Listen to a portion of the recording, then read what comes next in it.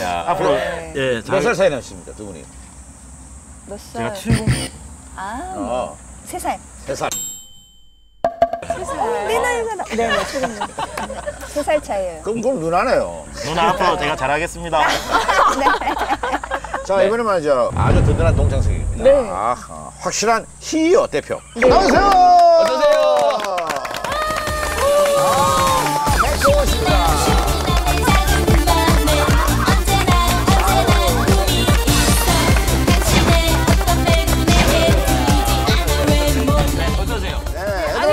바랍니다. 네 안녕하세요. 저 저는 75회 출연자 백종원입니다. 그제 이름보다는 소유진 씨 남편으로 많이 유명해졌습니다. 아니 방금 무슨 노래인지 아세요? 그 당황스럽네요.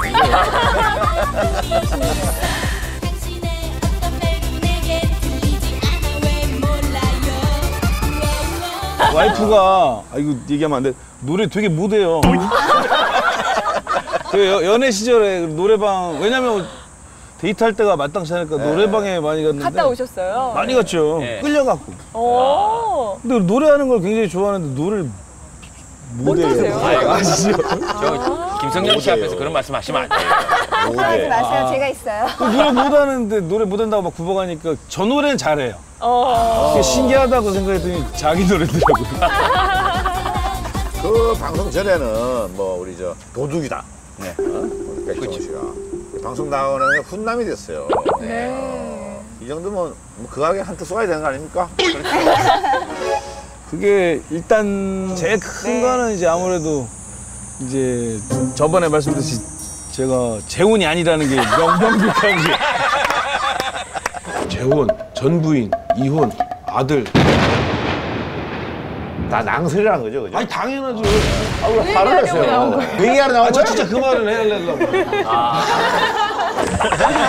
장가를 좀 늦게 가다가 보니까 네, 네. 재혼이라는 이제 소문이 나왔어요. 네. 심지어 와이프 이제 자기는 선배님들이 연예인 선배님들이니까 결혼식장 오셔갖고 와이프 손을 꼭 잡고 잘 살아야 돼 이렇게 얘기를 하시더래요.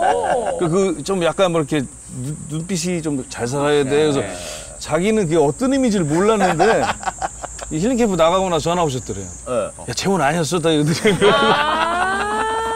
그래, 아니면 그래도 네. 저 우리 저 백종원 씨 가장 강조했던 게 재혼이 아니다. 아, 예. 진짜 막 아, 전 그것만 갖고도 아직 정말 감사하게 생각하고 있습니다. 그거만 가지고 한 10분 얘기했어요, 우리가. 네. 저 처음 뵀는데 어, 인- 처음 뵀어요. 네, 네. 인상이 아. 너무 좋으시고 그쵸. 훨씬 더 이렇게 슬림하시네요. 틀림하시죠? 방송보다. 제 김성용 씨는 저 잘 몰라도 저는 잘 아는데. 그 남편분이 저하고 대학교 동창이에요. 아, 이런 인연이 또. 한 달이 건너니까 다 인연이 진짜 네, 동창이에요. 아, 그 얘기하면 제가 또 나이가 많은 게 나오는데. 어. 그러면 어떻게 부산에 계시니까 좀 부산 갈 때마다 그, 뵈세요? 네, 아니, 아니, 부산 그 친구 최근에 연락이 왔었어요. 어, 부산에 있는 저희 매장에 가고 전화가 왔더라고요. 이제 제 매장에 사진이 많이 걸렸어요. 그래요? 네네네. 너무 반가웠고 이제 그날 전화를 해서 그 매장 사장님한테 부탁을 드렸어요. 아 저랑 진짜 친한 친구니까 네. 계산 좀 저 앞으로 달아달라 그랬더니 네. 아, 이런 얘기하면 안 되겠네. 그 다음부터 가게만 오면 전화가 오고.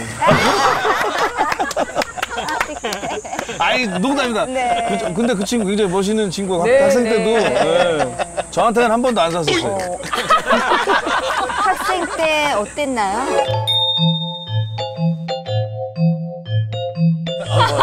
상상하시는 그대로. 대학 동생. 네, 대학교입니다. 그럼 우리 고창석 선배님이랑은 아니, 아직 제, 아니 제 가 팬입니다. 네.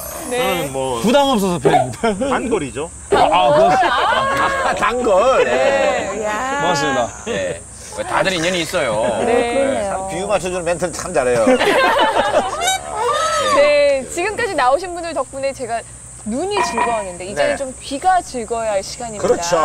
나와주세요. 가수 대표입니